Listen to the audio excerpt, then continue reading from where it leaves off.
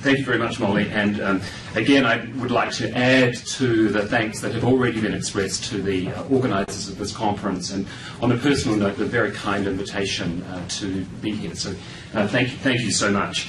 Um, I'm a little like uh, Duncan um, in that I had well, I had a uh, you know a written written paper and I, I rewrote it during the first session because I was um, so stimulated by the wonderful panel uh, this morning and then listening to the two previous uh, presentations I rewrote it again um, as I was scribbling scribbling down there.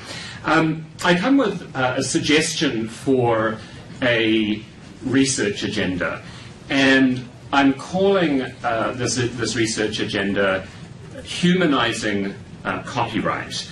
Um, and I'll explain uh, what I mean uh, by that um, in a moment. I think it has substantive and also systemic uh, aspects. Uh, but just a, a, few responses to, to some of the comments that were made earlier on today. I was struck by Audrey Chapman's comment that uh, you know, we, the, we need details in terms of how the relationship between the two areas of law uh, should play out. Um, and I, I, think that's absolutely uh, correct. Um, and, and I think we also need uh, um, greater specificity in terms of the policy salience of human rights in this space and how they fit together. Um, but I, I, want to pick up also on uh, Duncan's uh, challenge, uh, which is well, what happens if we uh, look at copyright in particular uh, through a natural rights um, lens? Um, and as he uh, discussed briefly today, there is a human rights basis for doing so. Uh, and that's in Article 27 of the Universal Declaration of Human Rights and Article 15, uh, 1C on the International Covenant of Economic, Social and Cultural Rights. We put up the text um, later. Um, but, but, in essence, those documents uh, guarantee to everyone the right to the protection of the moral and material interests resulting from any scientific, literary, or artistic production of which he is the author. Um, now, some years ago, I uh, co authored a paper where I suggested that policymakers uh, should take account of uh, the human rights of uh, creators in uh, policy deliberations about uh, copyright. Um, I know that policymakers uh, anxiously, I think that's the right word, anxiously deliberate on the implications of international economic law in this space. But what we tried to do in the paper was invite a discussion of uh, the implications for the development of policy of the human rights of uh, creators. Um, that, uh, and Larry Helfer and I um, develop those ideas in chapter three um, of the book. The, the basic point that we are addressing is, or, or raising, was that there are human rights statements, um, human rights norms that speak to uh, the moral and material interests of uh, creators. And I want to talk about what that might mean uh, for these discussions later on. Now, the original paper uh, provoked um, some stern criticism um, in the in the blogosphere, um, and the the, the view was advanced that the ideas that, that we were exploring was, you know, yet another um, instance of uh, bringing human rights on the side of stronger copyright. And this was a problem when the very purpose of invoking human rights in this space wasn't it, uh, to restrict um, or limit or constrain intellectual property. Now, I think the, the critics miss the point, but you know, you always think that when people criticize me, they miss the point. Um, but um, the idea uh, that I'd like to advance in the context of, of this conference is that um, instead of strengthening copyright necessarily, um, paying attention to that often neglected part of the important human rights instruments might provide us with an opportunity to do what I call humanizing uh, the rights of creative people. Um, And it might be a way of getting us out of the dualism, the polarization that we seem to be trapped in um, in this discussion. So, what I'd like to do is um, begin some tentative suggestions of what a normative vision of authors' rights grounded in human rights uh, might uh, look like. And I suggest that it casts a strong light on the interests of uh, creative workers.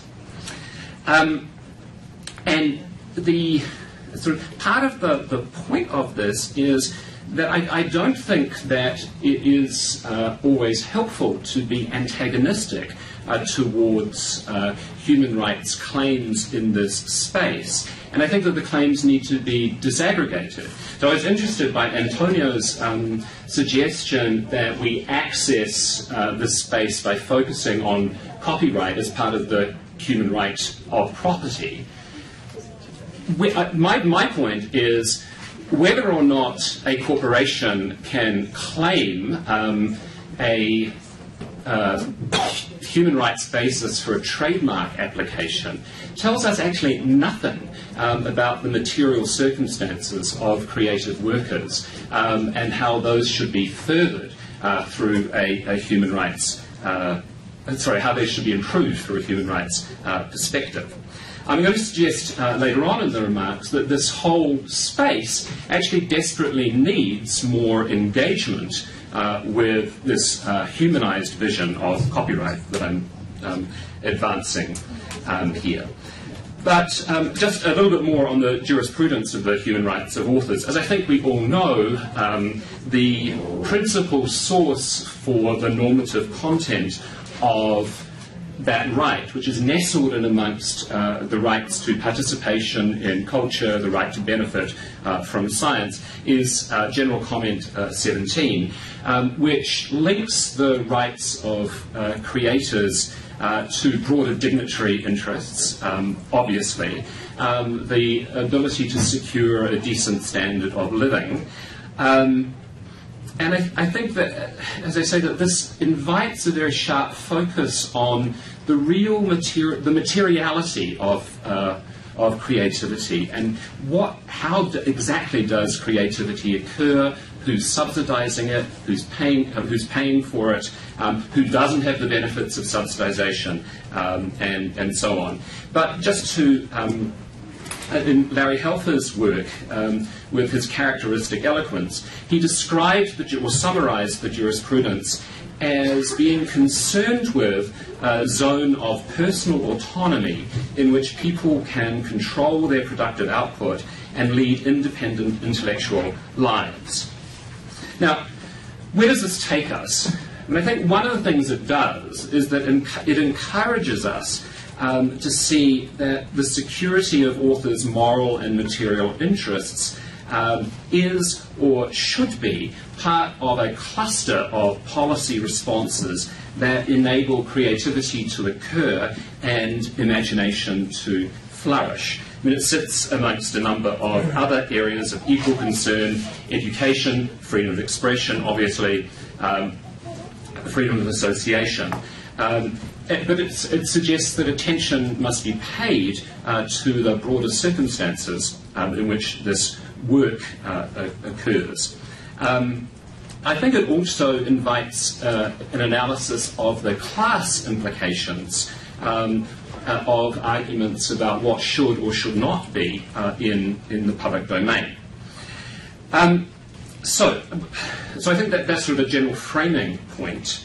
But if we anchor uh, create the rights associated with the creator um, in a human rights discourse, then I think it actually invites or provides us another set of arguments to see that the claim of an author in respect of a novel um, is very different uh, in terms of personal autonomy, human dignity, um, and those kinds of values than, say, an in house corporate document, to use a famous United States example, an in house corporate document uh, that discloses uh, critical information about faulty voting machines.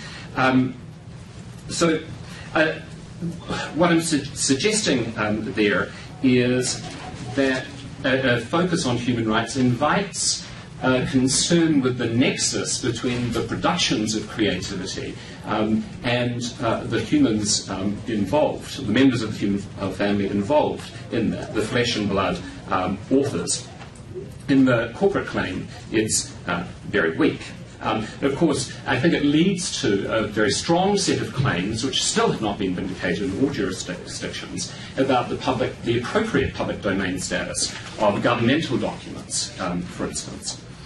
Um, I think it provides uh, a site of resistance to what was described uh, this morning, uh, earlier on this morning, as, as to the corporatization uh, of intellectual property.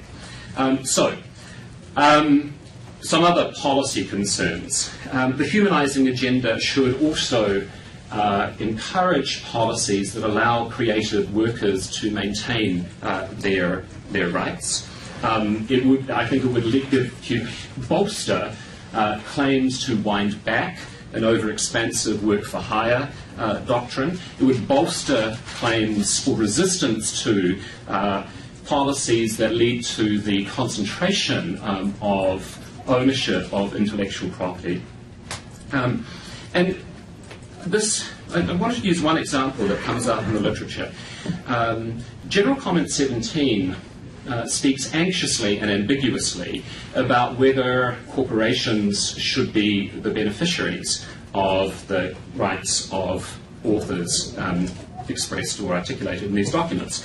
And Yu has uh, uh, written very well about this as well. The general comment says, um, uh, mostly appropriately, uh, that corporations should not be the beneficiaries of these rights. And I, and I think that's probably correct.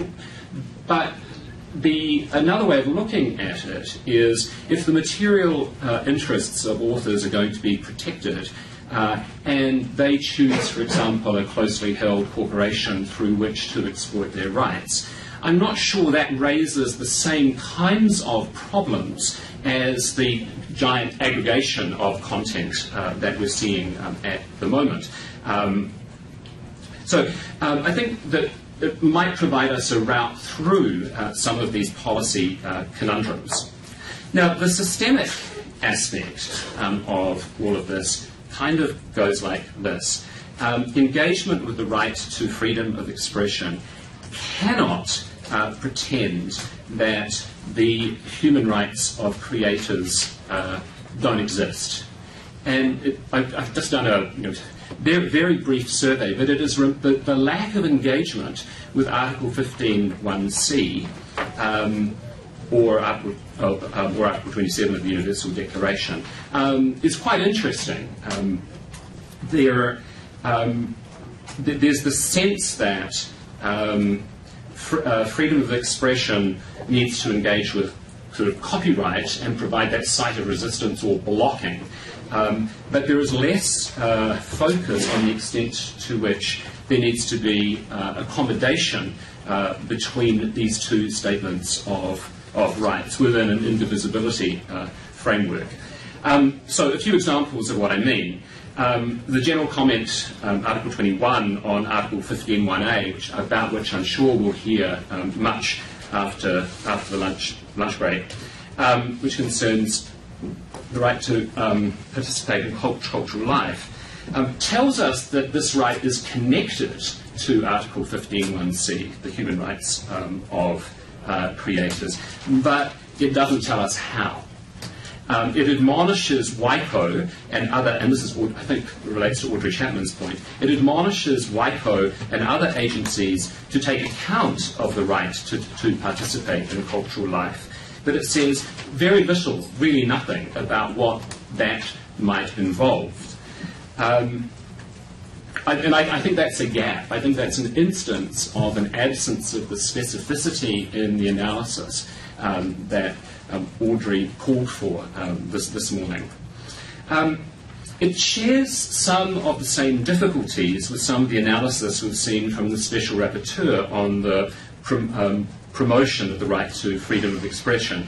Um, Frank La Rue's uh, 2011 report um, was mentioned earlier, but in the 2010 report, uh, there is a discussion of this point that um, Antonio uh, raised, which is the extent uh, to which uh, the right to freedom of expression needs to um, um, accommodate um, other other rights, right, rights of the rights of the parties. Um, the um, uh, sort of the acceptable limitations sort of problem. now, in the 2010 report, where it would probably be obvious uh, to engage with a human rights statement about the material interests of authors, there's very little engagement um, of um, that, that point, and it's left in a kind of there be dragons uh, kind of uh, space um, there. Um, so, so neither, neither document uh, really discusses um, author's uh, material interests. But where I think this matters is it's the very thing, it's the very site uh, where we should have engagement um, of the issues. And it's the very thing that one would expect WIPO ought to want to know.